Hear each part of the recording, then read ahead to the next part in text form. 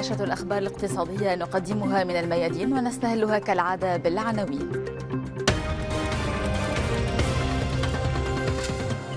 الأوضاع الإنسانية في اليمن تزداد صعوبة في ظل انعدام الممرات الآمنة وقصور مساعدات الإغاثة. المفوضية الأوروبية تبحث تدمير قوارب المهربين للحد من تدفق اللاجئين. وفي النشرة شركات أجنبية تستبيح الثروات البحرية في مياه الصومال الاقتصادية.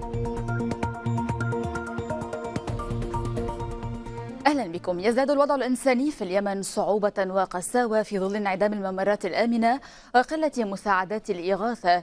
إلى جانب الحصار المستمر الذي يفرضه التحالف السعودي على اليمنيين. تقرير أحمد الزبيبة. مساعدات إنسانية شحيحة تصل اليمن منذ بدء الهدنة.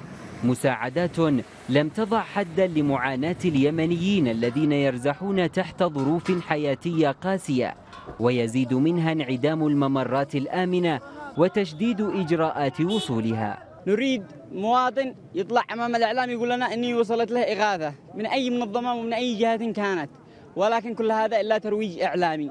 أما ما وصل إلى الشعب اليمني فهو الخوف والمجاعة والفقر. منظمات الإغاثة الإنسانية ومنها منظمة الإغاثة الإسلامية في اليمن واجهت صعوبات كبيرة في إيصال المساعدات الإنسانية خلال الهدنة.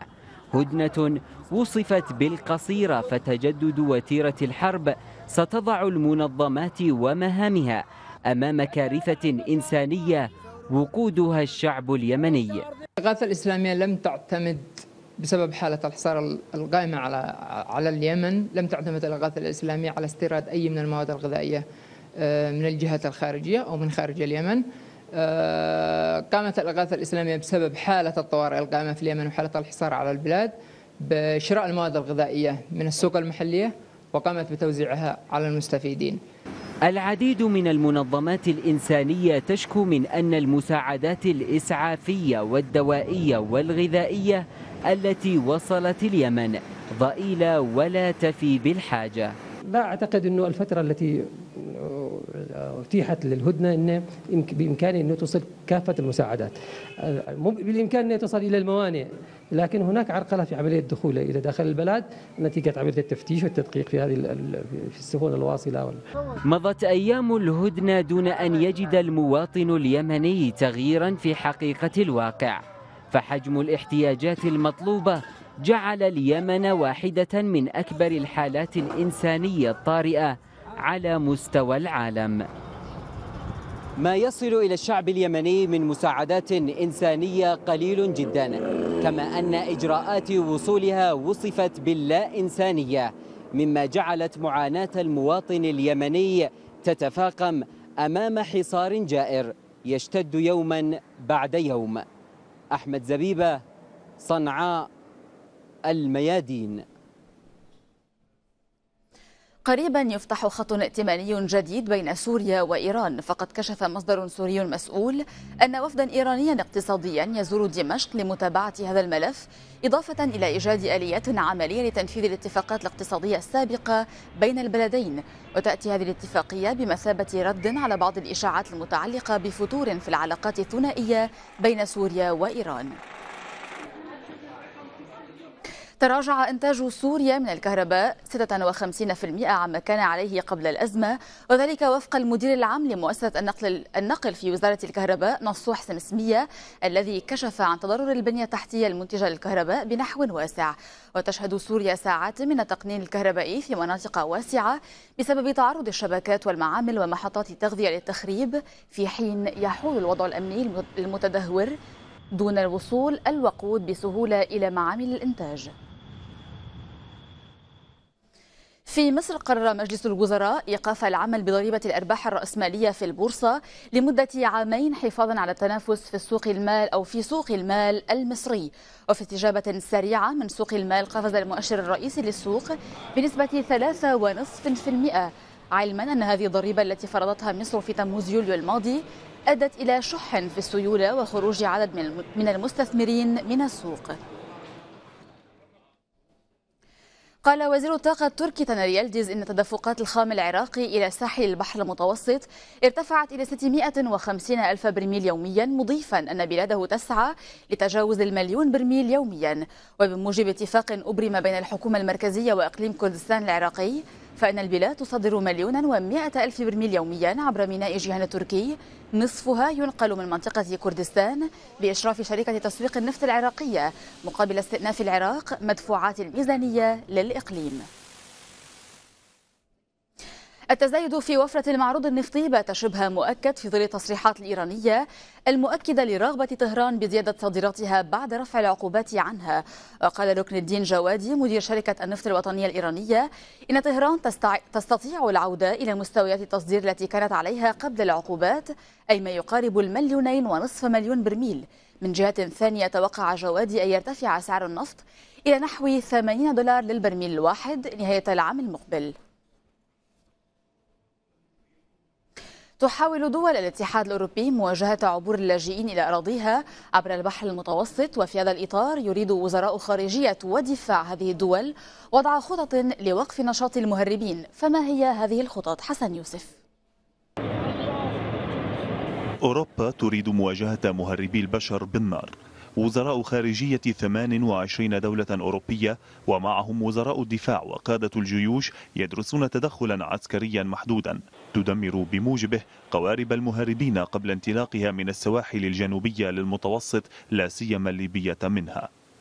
هذه العملية تقضي بنشر سفن حربية وطائرات مراقبة تابعة للجيوش الأوروبية مقابل سواحل ليبيا التي تعتبرها بروكسل المركز الرئيسي لتهريب المهاجرين. لكن الأمر يتطلب موافقة مجلس الأمن الدولي الذي زارته قبل أيام الممثلة العليا للشؤون الخارجية والسياسة الأمنية للاتحاد الأوروبي فيدريكا موغريني محاولة إقناع أعضائه بجدوى العمل العسكري.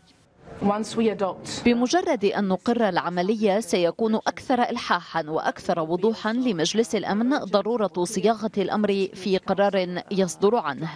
وفي إطار تبرير العمل العسكري تحدث الأمين العام للحلف الأطلسي ينس ستولتنبرغ عن مخاطر اندساس الإرهابيين بين المهاجرين غير الشرعيين.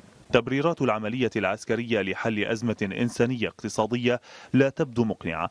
حتى إن عددا من المسؤولين الأوروبيين ما زالوا يعارضونها. فقد رأى وزير التنمية الألماني جيرد مولر أنه لا ينبغي أن يتحول البحر المتوسط إلى بحر للموت لافتا إلى أن العمليات العسكرية ستجلب مخاطر كبيرة من دون أن تحل المشكلات الحقيقية.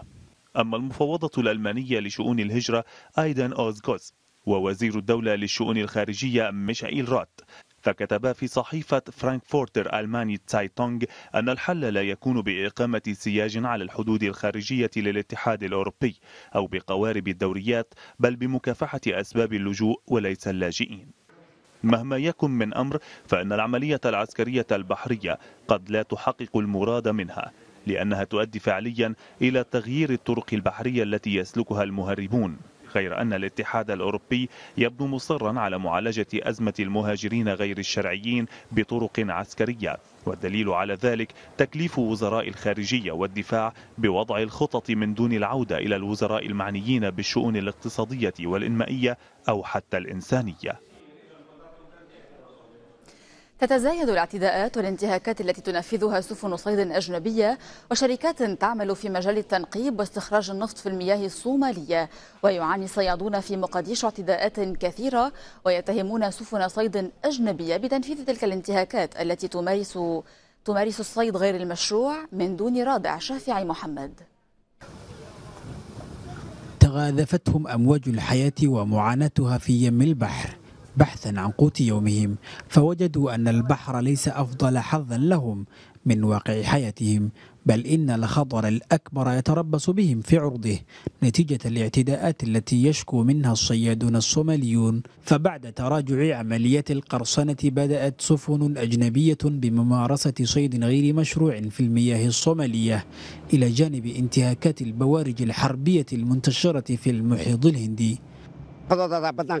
السفن الأجنبية التي تمارس الصيد غير المشروع في مياهنا يجرفون ثروتنا السمكية ففي المرة الواحدة يصطادون أسماكا كثيرة لأنهم يستخدمون أجهزة متطورة في الصيد ويدمرون شبكة صيدنا. ندعو الحكومة إلى الحد من تجاوزات هذه السفن. أسواق السمك الرئيسة في مقدشو هي الأخرى لا تقل معاناة عن الصيادين فأصحابها يشكون من التراجع الحاد في كميات الأسماك المعروضة في هذا السوق نتيجة ضعف المردود من الصيد. يشهد السوق اليوم انتعاشا كبيرا لكن في بعض الأحيان تنعدم رؤية الأسماك من هذا السوق إلا القليل بسبب كثرة السفن التي تمارس الصيد غير المشروع في محيط مياهنا. إلا أن المياه الصومالية تشهد في الفترة الأخيرة موجة من أعمال التنقيب والاستكشاف بحثا عن الذهب الأسود فيها حيث تنفذ شركات أجنبية هذه الأنشطة دون علم الحكومة الصومالية. الحكومة الصومالية أبلغت الشركات الأجنبية التي كانت تقوم بالتنقيب غير الشرعي في مياهنا بضرورة وقف أعمالها واستجابت تلك الشركات لطلبنا إلا شركتين فقط. ونحن سنرفع قضية شكوى ضد كينيا لمحكمة العدل الدولية للبت في قضية النزاع الحدودي البحري بين البلدين. الصومال البلد الذي يتمتع بأطول ساحل في أفريقيا غير قادر على الاستفادة من ثروته البحرية الهائلة بسبب غياب الحكومة الفاعلة التي تولي اهتماما كبيرا لهذا القطاع. حمل البحث عن قوت يوم في عرض البحر وبزوارق صغيرة وإمكانات بسيطة. حمل ثقيل يكون أحيانا جور السفن الأجنبية المنتشرة في السواحل الصومالية واعتداؤها ضريبته بذريعة محاربة القراصنة. شافعي محمد مقدشو الميادين. ختام النشرة إلى اللقاء.